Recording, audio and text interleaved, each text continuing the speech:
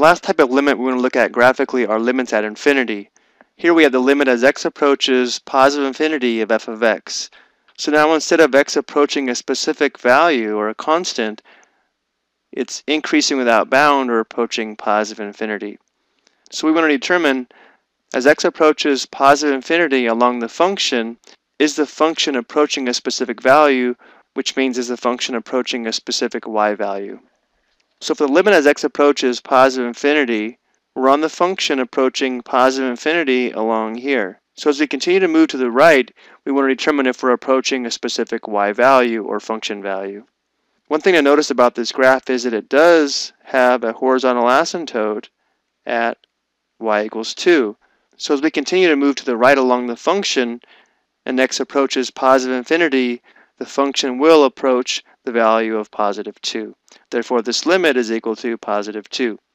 For the second limit, we have the limit as x approaches negative infinity of f of x, which means we're now on the function moving to the left as x approaches negative infinity in this direction here.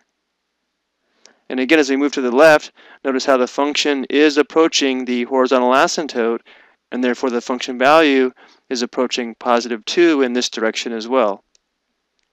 So the limit as x approaches negative infinity of f of x is equal to positive 2. And I also included a regular limit here. We want the limit as x approaches negative 3 of f of x. And for this limit, we'll sketch a vertical line at x equals negative 3, and we'll approach x equals negative 3 from both sides to see if we approach the same function value. And again, notice how there is a hole at negative 3, but this hole is not going to affect whether this limit exists or not. So as we approach from the left, we're approaching along here, as we get closer and closer to x equals negative 3, we'd be approaching this point here, and therefore the function is approaching positive 1. And notice how when we approach from the left, along here, we're approaching that same point, so the function value is also approaching positive 1.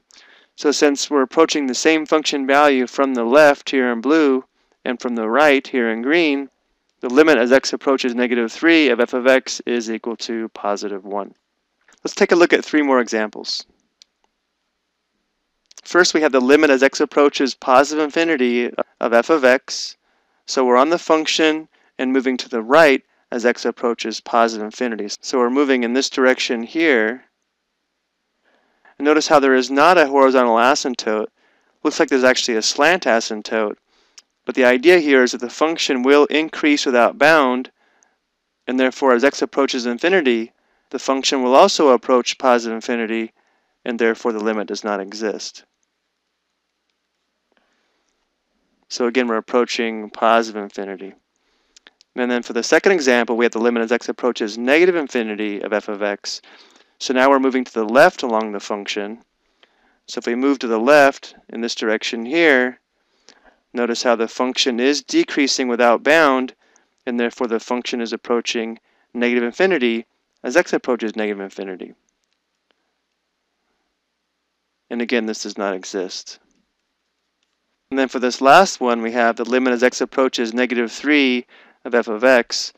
So we'll be approaching negative 3 from the left and the right to see if we're approaching the same function value. So here's x equals negative 3. So as we approach from the left, notice how we're approaching this point here, so we're approaching the function value of 0. And the same is true when we approach negative 3 from the right. We're approaching a function value of 0. Therefore, the limit as x approaches 3 of f of x is equal to 0. And I think we'll go ahead and stop here.